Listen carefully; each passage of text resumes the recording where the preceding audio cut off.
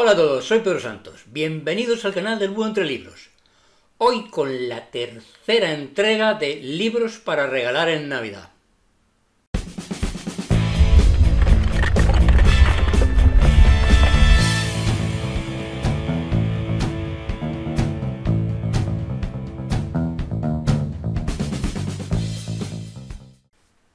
En la cajita de información podréis ver las dos primeras entregas, aún queda una cuarta, eh, y no solamente las dos primeras, en la cajita de información viene la de años anteriores, porque cualquier libro de los que viene ahí os será útil.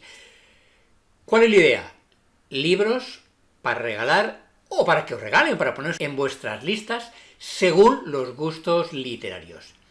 En esta ocasión, en esta tercera ocasión, voy a hablaros de novela negra, que es un gran apartado, de metaliteratura, de libros sobre el conflicto vasco y de libros de relatos. Todo eso va a tener entrada aquí.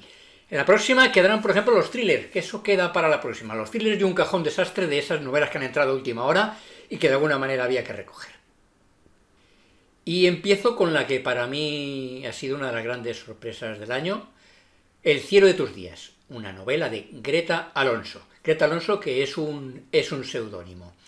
Eh, un libro que nos va a narrar una historia que arranca de un modo espectacular, eh, un crimen que se suponía resuelto hace 10 años y sin embargo aparece una nota en el buzón de uno de los policías del lugar que no investigó el asesinato precisamente, con una serie de datos que lo que está diciendo es, eh, eh, que yo estoy fuera, que yo no soy el que está encerrado en la cárcel porque el crimen se dio por resuelto y el culpable está en Chirona.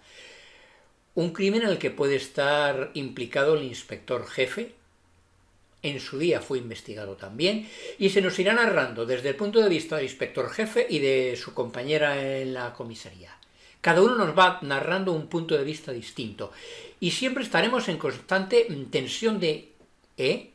¿Qué nos cuenta uno? ¿Qué nos cuenta otro? No es la misma visión y de hecho muchas veces él parece que está justificando y siempre a posteriori, con lo cual esa sombra de sospecha sobre él estará presente toda la novela y hasta el final no sabremos lo que ha pasado. Una gran novela, sí, me ha gustado mucho.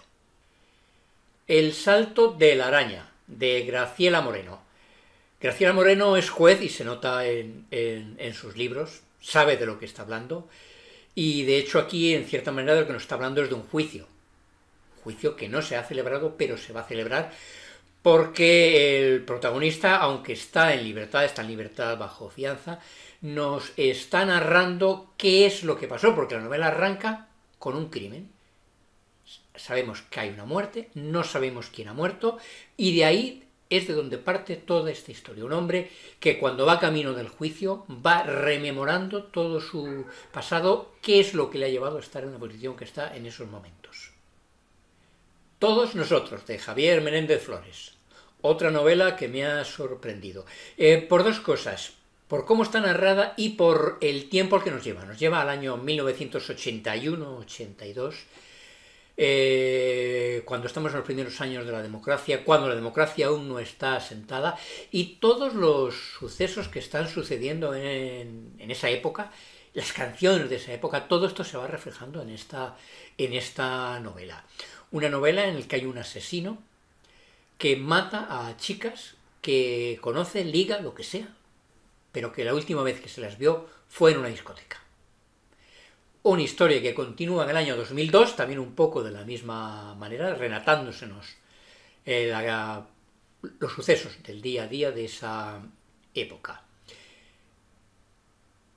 Y además, Madrid como protagonista. Conduciremos de la mano del autor por las calles de esta ciudad. Un tío con una bolsa en la cabeza, de Alexis Ravelo. Una novela que, como no, nos lleva a Las Palmas. De esta isla es el autor y esta isla aparece muchas veces en sus novelas. Esta es una novela asfixiante, como para no serlo. Si la novela arranca con el protagonista de la misma con una bolsa metida en la cabeza que sabe que va a morir y en un par de minutos qué es lo que piensa que le queda de vida y si nadie le si nadie llega a la casa eso es lo que le queda. Recordando su pasado y cómo llegó ahí y por qué puede haber alguien que intente quererlo matar. O sea, que hace de detective de su propia muerte. Claro que lo va a averiguar por puro placer. porque no le va a poder contar a nadie nadie. No le va a poder contar a nadie quién ha sido. ¿O sí? Intriga hasta el último momento. Sangre en la nieve, de Nesbo. El autor, fuera de la serie de Harry Hall, ha publicado una nueva serie. De momento van dos novelas.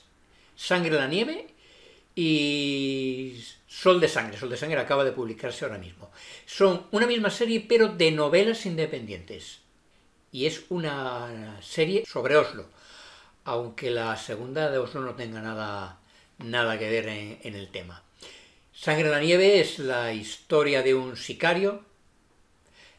La serie va de sicarios. Vaya eso por delante. Que se dedica a matar lo que le manda el jefe, pues porque no sabe hacer otra cosa.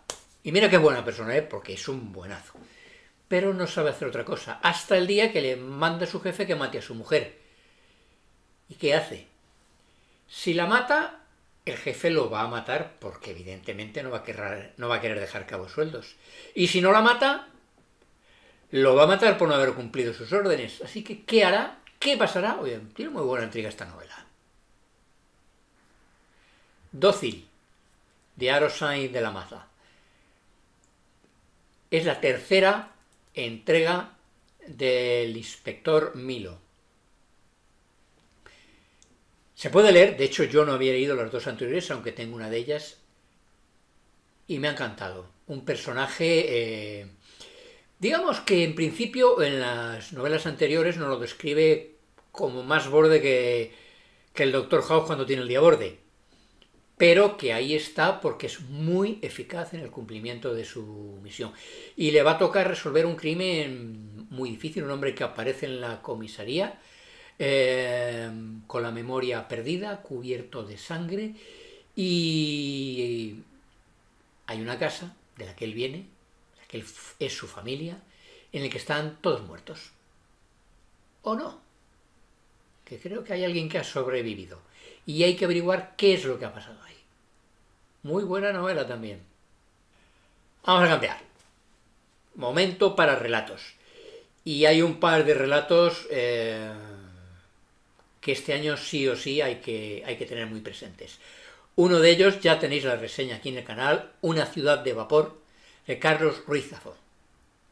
Todos sus cuentos, así es también como se subtitula este libro, en el que recoge relatos inéditos, inéditos hay tres, y mm, relatos que cuentos que se publicaron también en ediciones nominales, a veces acompañando a, alguna de sus novelas. Los seguidores de Ruiz Zafón, que sabéis que este año ha, muerto, y esto era algo que estaban preparando antes de que él, de que él muriera, y merece, merecen la pena. Nos lleva, si os gusta Ruiz Zafón, nos lleva a ese universo de Ruiz Zafón. De hecho, alguno de los relatos está protagonizado por por alguno de los personajes que tiene relación con el cementerio de los libros olvidados, por ejemplo. Y además, protagonista también en esos relatos, Barcelona. El presente en todos ellos. Y los hay de todo tipo en los relatos. Los hay de novela histórica, los hay de novela negra, eh, con toque de, de misterio, con fantasmas. Hay de todo. De verdad, si conocéis a alguien que le guste Ruiz Zafón y queréis regalarle un buen libro, este. Y si lo queréis para vosotros, ponedlo en vuestra lista. Que también eso vale, ¿eh? Rotos, de Don Winslow. Para mí Don Winslow es uno de los mejores escritores de novela negra que hay en América. No digo en el mundo, hecho en América. Y aquí nos ofrece una serie de relatos no excesivamente cortos, porque rondan las 80 páginas. Y todos más o menos además de, de lo mismo. O sea, me refiero de la misma dimensión. Novela negra, en la que además, si no lo conocéis, es un buen momento para conocerlo. Y si habéis leído novelas de Don Winslow, aquí hay un guiño a, a sus seguidores, porque aparecen personajes de algunas de sus novelas. Puntualmente. Pero ahí está. Y si las habéis leído os gustará. Si habéis leído El invierno de Frankie Machín, si habéis leído Salvajes, ahí sus protagonistas están en estas novelas. Metaliteratura, que alguno me ha preguntado qué es eso de metaliteratura. Pues sí, metaliteratura son libros que hablan sobre libros. Sobre cómo se hace un libro, eh, protagonizados por mm, personajes eh, literarios, protagonizados por escritores, en que los libros estén muy presentes, pues eso es lo que vamos a encontrar en estos libros. Y arranco con uno muy recientito, no tengo el calendario delante porque el autor lo he entrevistado y va a salir aquí en el canal y sorteo el libro. No sé si es después de esta tercera entrega de recomendaciones o antes. En cualquier caso, el, búho que revisará mi calendario os, os lo dirá, pero muy atentos, porque este libro me ha encantado. El lenguaje oculto de los libros, de Alfonso del Río. Y hablo de este libro como un thriller metaliterario. Sí, porque es un thriller, con muchísima acción, pero está tan conseguido que a pesar de tener mucha acción, los personajes están muy bien definidos sin que sufran el ritmo, y eso es muy difícil de conseguir. Y además son personajes, dos de los protagonistas que conocéis, por lo menos de oídas. J.R.R. Tolkien, sí, el del Señor de los Anillos, es uno de los protagonistas de esta novela. Eso sí, eh, si no has leído El Señor de los Anillos, no importa, porque las menciones al Señor de los Anillos son mínimas, y con que hayas oído ya sabes, no hace falta haberse leído los libros. Y el otro protagonista es C.S. Lewis, el de las Crónicas de Narnia. También participa en esta, en esta novela. Una novela en la que transcurren dos planos temporales, uno en 1931 y otro en 1961, creo que es, más o menos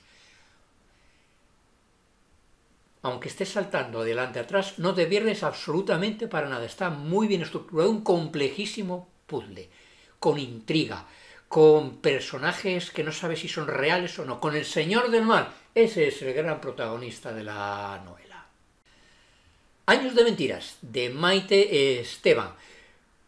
Dejo un poquito al lado, en este caso, la novela romántica, que era la que estaba escribiendo últimamente, para presentarnos la historia de un periodista al que le llega la entrevista de su vida. Va a entrevistar a un autor famosísimo que prácticamente nunca ha dado entrevistas. Y además le ponen un acicate, tienes que conseguir que vuelva a escribir. Así que, sobre escritura, cómo se escriben los libros, sobre las editoriales, sobre todo esto, va a ir esta novela. A mí me ha gustado. ¿Y hay algo más metaliterario que hablar de una librería? pocas cosas. Y esta historia de la librería del señor Livingstone. No podía faltar mi amiga Mónica Gutiérrez aquí. Es que este año se ha publicado la librería del señor Livingstone. Sí, publicado en papel por una editorial, porque este libro ya existía. Yo, de hecho, tengo la versión en papel, pero la, la primera, la que publicó hace años. Ahora es nueva, es por Ediciones B. Una portada, si la anterior era bonita, esta a mí también me encanta, muy colorida. Una historia que nos va a hablar de una chica que encuentra su refugio en una librería, perdida en Londres y acaba trabajando en una librería. Las cosas no ocurren porque sí, y menos en una novela de Mónica, que es la reina del feel una novela para sentirse a gusto. No las he incluido en la novela negra, pero hay dos novelas que también, también hay que traer aquí. Hablando sobre el conflicto vasco, y nos lo van a traer desde dos puntos de vista diferentes y complementarios. La primera es El mal de Corcira. El mal de Corcira es la, creo que es la décima novela, y hablo de novela porque hay un par de entregas que son relatos más o menos cortos, el de Tantos Lobos es uno de ellos, que tienen como protagonista a Bevilacqua. Y aquí nos van a llevar al primer Bevilacqua, a ese que no ha salido, a esa precuela que todos esperábamos, y es que Bevilacqua empezó su carrera en el País Vasco.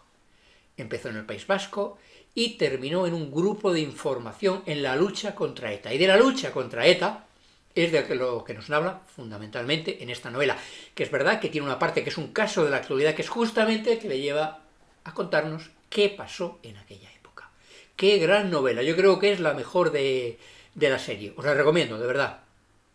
Y también tenemos Nunca fuimos héroes, de Fernando Benzo. Aquí lo que nos va a contar no es el punto de vista de la Guardia Civil en la lucha contra ETA. Aquí los que están luchando contra ETA son los policías, real como la vida misma. Hubo estos dos grupos. Un grupo de información, un grupo secreto que está ahí, en algunos casos con gente que se ha infiltrado en ETA para mostrarnos ese otro lado de la batalla, contado desde la actualidad, cuando a un comisario retirado le mandan a investigar, y está retirado, el caso de un etarra que ha reaparecido por Madrid. Mucho tiempo sin aparecer, ha estado en búsqueda, está en búsqueda, en teoría está al otro lado del, charco y aparece en Madrid. ¿Qué pretende? ¿Por qué está aquí? ¿Es que acaso ETA va a rearmarse y va a provocar algún atentado? Una gran novela negra también. Cada vez que sale uno de esos vídeos ya queda menos. Así que nada, si no te quieres perder ninguno de ellos, ya sabes, suscríbete, dale a la campanita y nos vemos. ¡Feliz Navidad! Metaliteratura. Que alguno me ha preguntado qué es eso de metal... Que alguno me ha preguntado qué es eso de metal... Que alguno me ha preguntado qué es eso de metaliteratura.